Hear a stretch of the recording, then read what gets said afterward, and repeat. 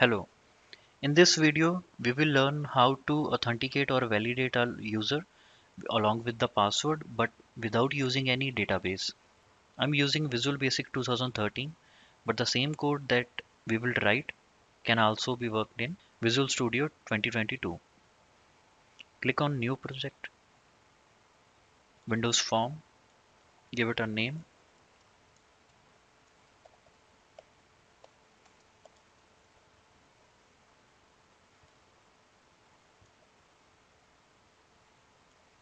let's create two text boxes one for username and another one for password.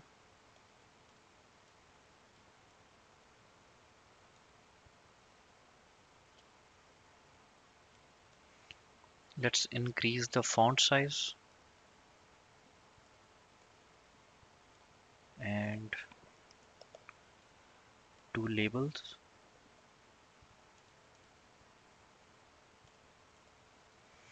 and it will be our username. And second one would be our password. Let's have a button as well for login.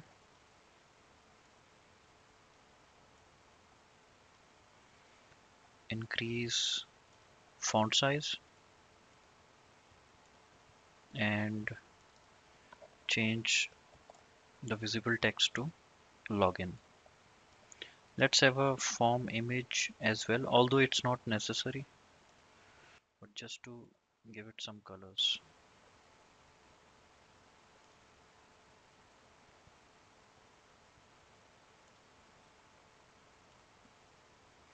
All right.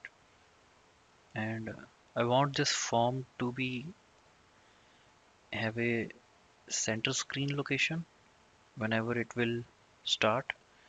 And because right now we can see the password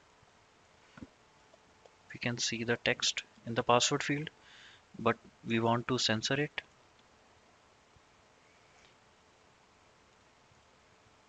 It can be done by making this property true. So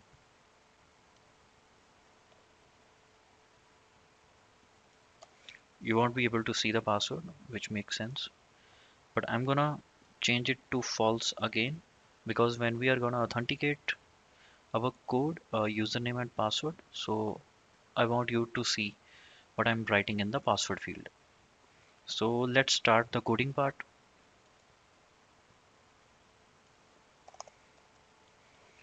Let's have two variables and uh, declare them as string.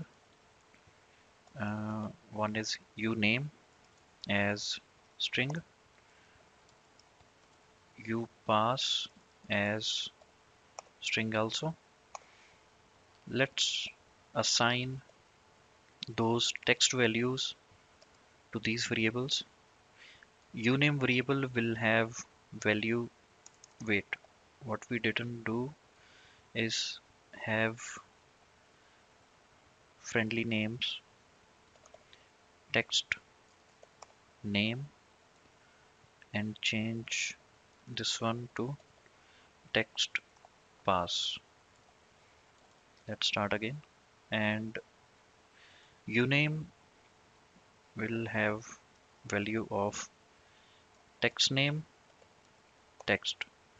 And upass will have value of text pass text now let's have a condition. If uname is equal to you can write your name or any username. So username is Navdeep.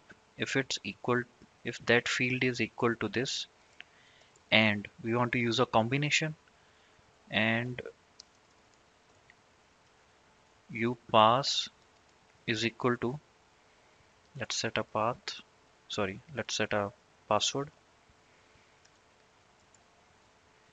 If username is equal to Navdeep and password is equal to Ethan Hunt then let's uh, showcase a message box saying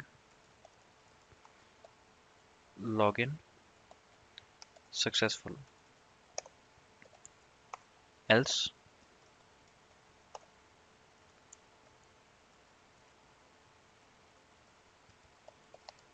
Login failed.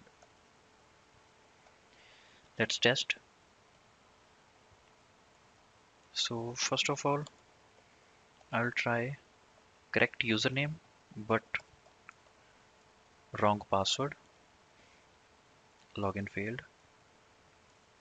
Let's try correct password but wrong username. Failed. That's fine. Alright. And let's test both wrong failed and at final. Let's have the correct username and password. Login. Successful. In next video we will also learn how to do this login authentication when we have multiple username and passwords in a database table. This was just for the testing purpose to get familiar with how to declare variables and how to use if else conditional statements. Thank you